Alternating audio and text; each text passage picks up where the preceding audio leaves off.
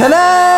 ม Audio Interface รุ่นใหม่จาก Tascam ครับ อยู่ในซีรีส์ของ USHR Series นั่นเอง หรือที่เราคุ้นเคยกันใน US Series ในรุ่นเก่านะครับ เป็นยังไง เดี๋ยวเราไปดูกันไป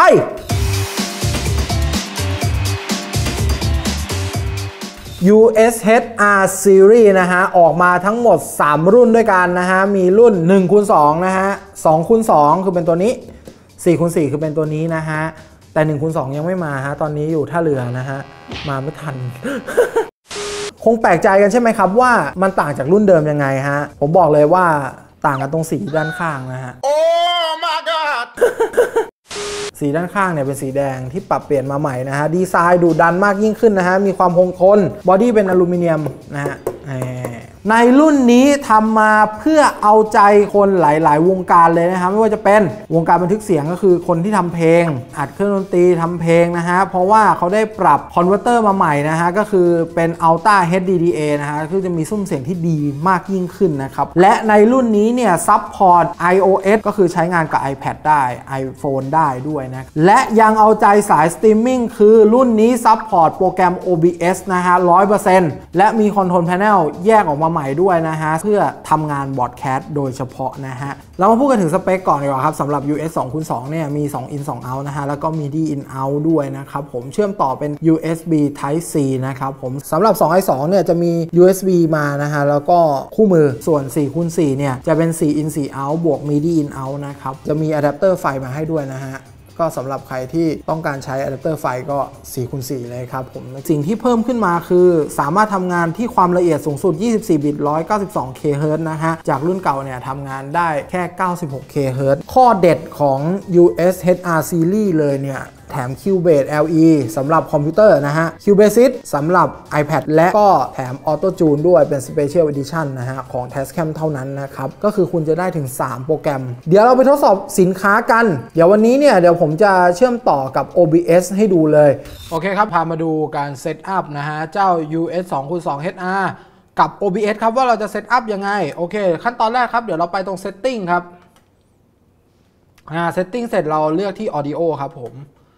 อ่าแล้วเราก็เลือก Mic Auxiliary Audio นะฮะ ให้เป็น Tascam 2คูณ2 HR นะครับ กดเลือกเลย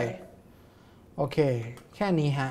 ก็สามารถใช้งานได้แล้ว เอาละครับผมตอนนี้เราก็อยู่กันในช่วงที่เราจะ test สินค้ากันแล้วนะฮะ อย่างที่ผมบอกก็คือเจ้า US HR Series นะฮะทำมาซัพพอร์ต OBS โดยเฉพาะนะฮะ ก็คือเสียบ USB เข้า OBS ทางหน้าจอที่เรากำลังบันทึกอยู่นะฮะ ก็คือ Tascam เขาทำมาใหม่ในหน้า interface ใหม่นะฮะ ก็คือเสียงจาก interface ก็จะวิ่งเข้า OBS ได้เลย เราสามารถปรับให้เป็น Input เป็นโมโนสเตอริโอนะฮะ ทั้ง Input ทั้ง Output ได้เลย แล้วก็มี Broadcast Volume ไว้ให้ด้วยนะครับ สามารถเปิดปิด Loop Back ได้ด้วยนะฮะ เดี๋ยวเรามาลอง test กันครับว่าเสียงร้องที่เข้าไปหรือว่าเสียงกีตาร์ที่เข้าไปนะฮะ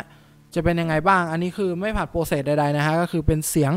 กีตาร์เปล่าๆเลย เสียงร้องเนี่ยก็คือต่อเข้า interface ปกตินะฮะ เดี๋ยวเราลอง test กันดูฮะ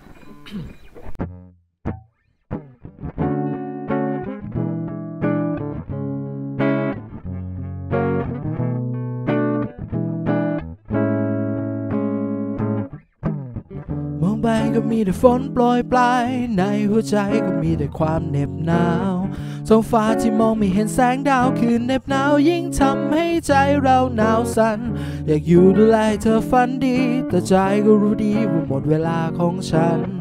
อยากจะอยู่กับเธอให้นานนานนานแต่ก็คงต้องลาเพราะใจที่ไว้วัน แต่ใจของฉันบอก อยากอยู่กับเธอต่อแต่ฉันวิงวอนกับเธอได้เพียงสายตา อยู่ต่อเลยได้ไหม อย่าปล่อยให้ตัวฉันไป เธอก็รู้ถึงหัวใจ ฉันอยู่ที่เธอหมดแล้วตอนนี้ อยากได้ยินคำว่ารัก แทนคำบอกลาเมฆฝนบนฟ้าคงรู้ดี คืนนี้ฉันได้อยู่ใกล้ๆเธอ เป็นยังไงกันบ้างครับ เอาใจคนทุกวงการขนาดนี้ไม่ว่าจะเป็นวงการสตรีมมิ่งไลฟ์สตรีมมิ่งนะฮะ หรือคนทำเพลงจะใช้คอมพิวเตอร์ ใช้ Mac ใช้ iPad ก็คือสามารถใช้งานกับเจ้า US HR Series ได้เลยนะครับสำหรับ2คูณ2 HR Series นะฮะ ในราคาเพียง 5,990 บาทเท่านั้นนะครับ4คูณ4 US HR Series นะฮะ อยู่ที่